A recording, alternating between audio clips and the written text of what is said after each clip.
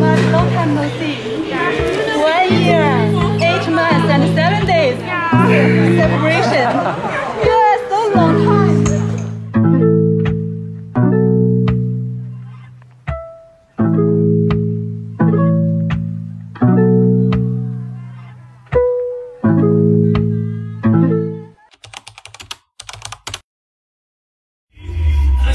Yeah.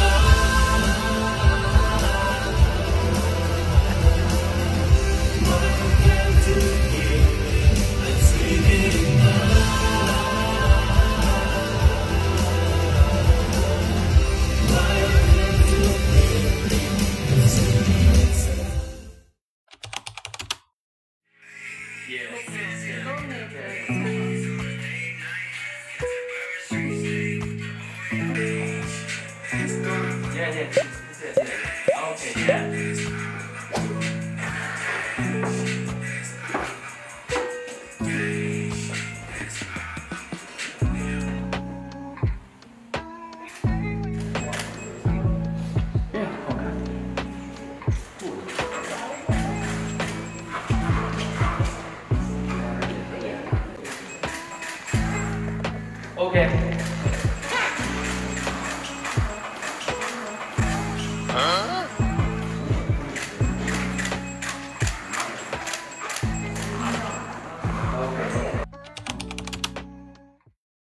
好的，现在入场的是今天晚上的表演嘉宾迪玛希。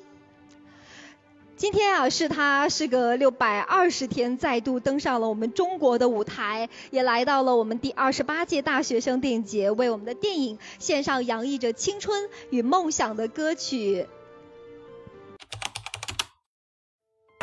其实到这儿，对对对，就六百多天前，你有没有注意到近些年来有许多的导演他们的处女作啊？立马上创作成功，加油！很多眼下正在行业中大展拳脚的电影人，都曾精彩大学生。 예승되며 알아이름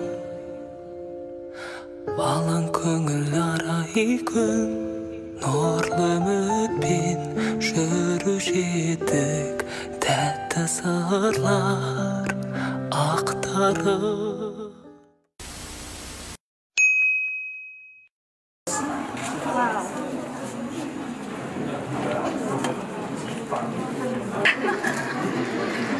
Nobody know, but I have six.